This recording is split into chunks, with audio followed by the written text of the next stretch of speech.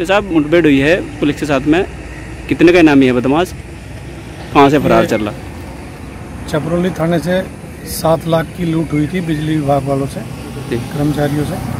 उसमें वांछित था और ये इसका नाम धर्मेंद्र दीवान जो बताया इसने बाकी ये राहुल खट्टा गैंग का सक्रिय सदस्य रहा है।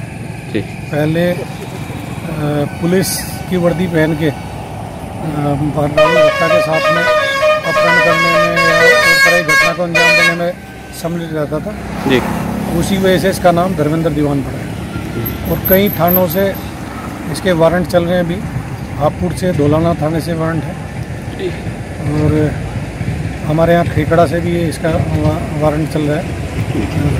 तारीख पे नहीं जा रहा था। और अभी ये जो मेन घटना हमारे यहाँ पे दो- ढाई महीने से पहले घटना हुई थी उसमें वांछित है छबरौली से। कितने का नाम है सर पच्चीस हज़ार रुपये का इसमें नाम है। इसका कोई और साथी भी था एक साथ में था तो अभी नाम पता नहीं पता है बाकी हॉस्पिटल भेज दिया गया। तो एक अभी कॉम्बिंग हो रही है उसकी है।